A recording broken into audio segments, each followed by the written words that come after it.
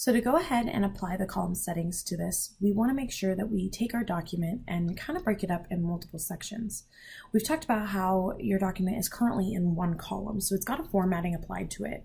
And you can actually apply multiple types of um, page setup formatting to all of your text inside of your document in multiple ways. So like if you wanted one of your pages to be flipped sideways in the middle, that's a page setup option of orientation.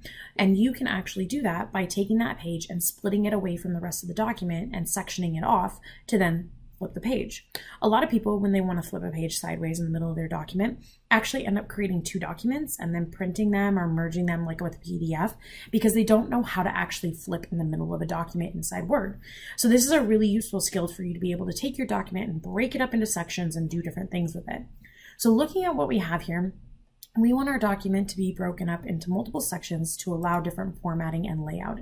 So I'm going to go ahead and show you real quick that with this first um, paragraph here, we want it to stay the way that it is. We want it to stay in three column, or sorry, one column. We want it to be exactly the way that it is.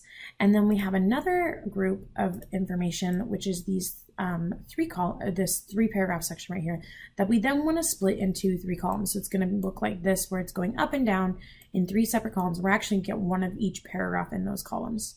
And then we're going to have another group of information or text where we're going to have this area with the borders and the craziness all look exactly the way it does right now in one column as well.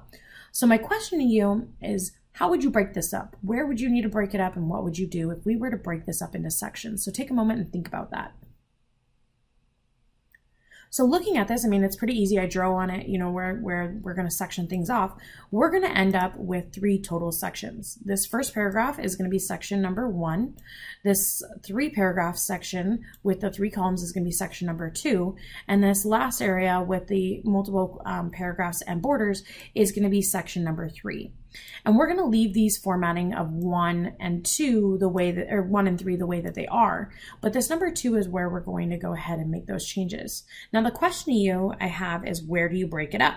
Where are you going to break that document so that Word knows that one and three are going to stay in one column and the second section is going to stay in three? So to do this, what we're going to do is we're going to go ahead and break it off right after these paragraphs. So right up here, after the first paragraph, we're going to put in a break. And they're called breaks because they're breaking the document up into different sections or different areas. And then the second break that we're going to put in is going to go after this three paragraph section right here to really make it so that we can break that document into three sections. Once we add these breaks in, Word knows that section one can do its own thing, section two can do its own thing, and section three can do its own thing as far as page setup, and they won't affect each other. But you have to have the breaks in first before you can start doing it. I kind of like to compare this to like a loaf of bread. If you have a French bread, loaf of French bread, and you're gonna make sandwiches out of it, and you're gonna make three different kinds of sandwiches, you don't just start making sandwiches on the bread before you cut it into the sections. You cut up the sandwich sections, and then you start making the sandwiches just like you would in this document. So we're going to go ahead and break our document into multiple sections inside of Word using our breaks. So I challenge you for the next video, where would breaks be? Where would we find them?